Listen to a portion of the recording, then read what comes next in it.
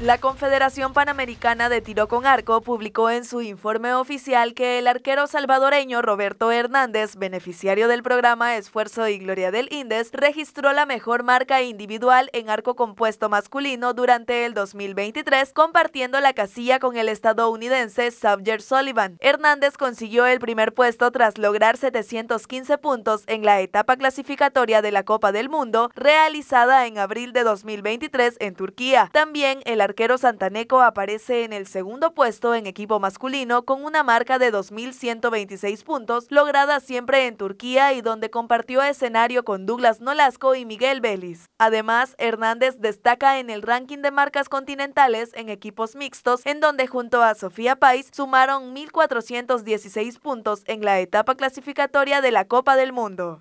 Tras disputarse la cuarta, quinta, sexta y séptima ronda del Campeonato Nacional por Equipos 2023 de ajedrez, Armagedón 1 se coronó campeón invicto en la modalidad rápida. En el segundo puesto se ubicó el equipo Los Reyes del Jacks y Brains Crushers se quedó con el bronce. En el evento participaron 10 equipos y más de 90 ajedrecistas que disputaron partidas de 15 minutos más 10 segundos de incremento por jugador.